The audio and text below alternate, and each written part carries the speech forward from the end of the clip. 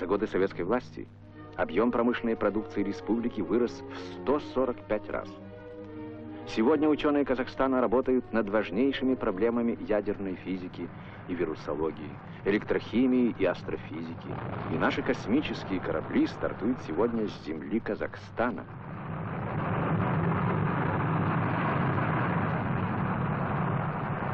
Сегодня здесь около 200 научных учреждений, свыше 6 тысяч докторов и кандидатов наук.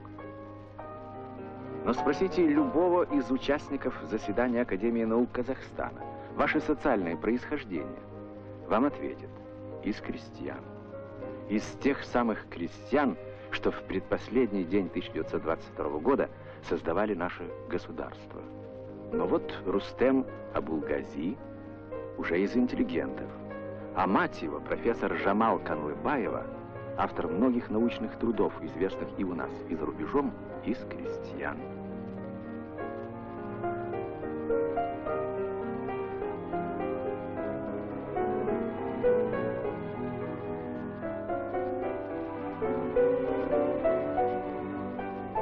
Из крестьян и президент Академии Шахмардан Есенов.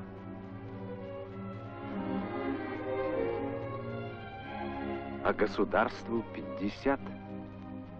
Больше половины из них, оно живет при социализме. История не знала таких темпов. Откуда они? Стал талантливее народ. Народ талантлив всегда. Есть нераскрытые таланты. И государство это не безразлично.